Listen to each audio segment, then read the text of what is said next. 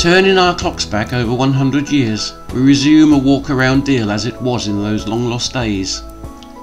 The Mary Hotham almshouses, formerly occupied by the Coast Guard, were presented to the town in 1891 by the Mayor, Captain George Coleman, for the benefit of the old and infirm Deal boatmen. At the junction of the High Street and College Road, facing Alfred Square, is the Caxton Seaside Home, known as Lloyd Memorial in recognition of donations made by the family of Mr. Edward Lloyd.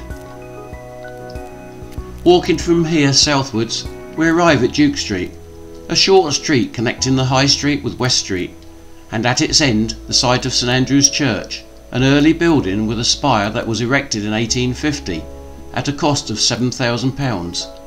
The east window is a memorial of the Countess of Clanwilliam.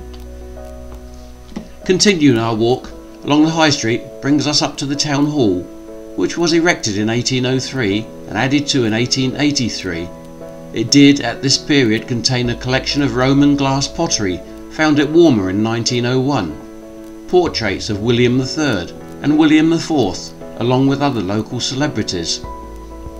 Deal's first charter was granted in 1699. At the corner of the hall is a fountain presented in 1875 by Earl Granville.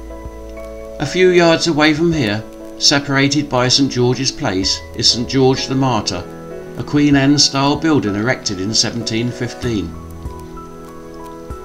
Arriving at Stanhope Road, just off the High Street, stands the General Post Office, a Flemish looking red brick building with a checkered gable. Adjoining this building is the Winter Gardens Theatre, where entertainments and theatrical events take place, now known as the Astor. Just to the south of Stanhope Road is the Charter Institute, where residents and visitors can take recreation. Within this building are well furnished reading rooms, a billiard room, a lending library, and baths. Admission was available for a small fee.